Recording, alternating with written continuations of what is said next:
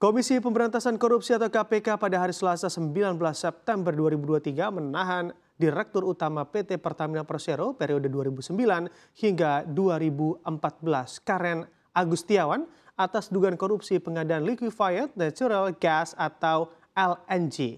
Karen dianggap merugikan negara sebesar 2,1 triliun rupiah.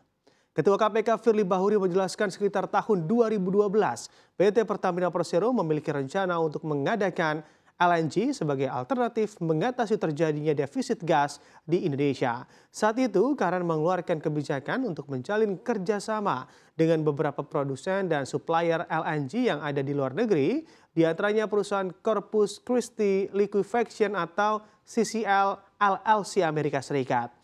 Saat pengambilan kebijakan dan keputusan tersebut, Karen secara sepihak langsung memutuskan untuk melakukan kontrak perjanjian perusahaan dan tidak melaporkan pada Dewan Komisaris PT Pertamina Persero dan tidak melaporkannya dalam lingkup rapat umum pemegang saham.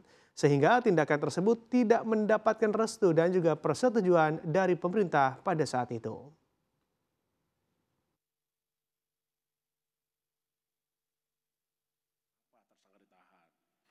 GKK alias KA,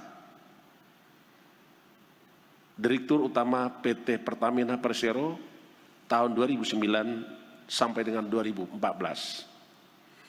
Untuk kebutuhan proses penyidikan, penyidik KPK telah melakukan dan akan melakukan penahanan terhadap tersangka GKK alias KA selama 20 hari pertama terhitung 19 September 2003 sampai dengan 8 Oktober 2023 di rumah tahanan negara KPK.